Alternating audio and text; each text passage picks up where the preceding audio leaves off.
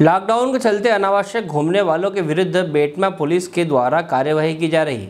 इसी के चलते बेटमा पुलिस ने 10 पेटी अवैध शराब और तूफ़ान गाड़ी के साथ दो आरोपियों को गिरफ़्तार किया है।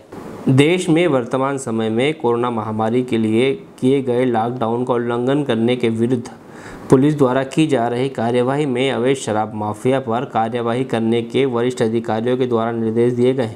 मुखबिर से सूचना प्राप्त हुई कि तीन व्यक्ति एक तूफ़ान गाड़ी में ग्राम बोरिया तरफ़ से ग्राम माचल बड़ी मात्रा में अवैध मात्रा, अवैध शराब लेकर जा रहे हैं। उसी के चलते बेटवा थाना प्रभारी धीरेन्द्र पाल सिंह चौहान ने एक टीम गठित की और उसे रवाना कर माचल राजपुरा फाटा पर घेराबंदी कर आरोपियों को गिरफ़्तार किया है। शराब की कीमत लगभग अड़तीस हज़ार बताई जा रही है। देपालपुर से विशाल चांदना की रिपोर्ट।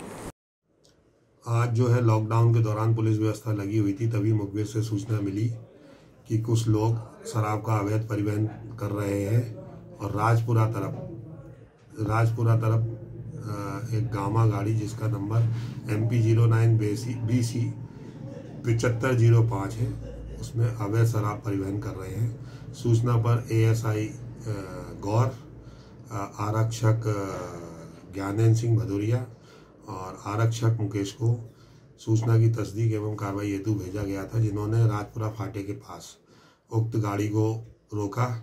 तो उसमें से राजकुमार नाम का व्यक्ति, जो धार ज़िले का रहने वाला है, कूद कर भाग गया। दो लोगों को पकड़ा है, जो एक धर्मेंद्र और एक जितेंद्र, जो चिकलौंडा के रहने वाले हैं। गाड़ी में सर्च करने पर दस पेटी देशी मदिरा की मिली है। जब्त कर कार्रवाई की अभी पूछताछ की जा रही है। अभी आरोपी कहाँ ले जा रहे थे, इस संबंध में पूछताछ की जा रही है। हेलो फ्रेंड्स आप देख रहे हैं हमारा channel S W twenty four news हमारे सारे वीडियो सबसे पहले देखने के लिए आप हमारे चैनल को सब्सक्राइब करें और पास में लगे बेल आइकोन को दबाना बिल्कुल भी ना भूलें।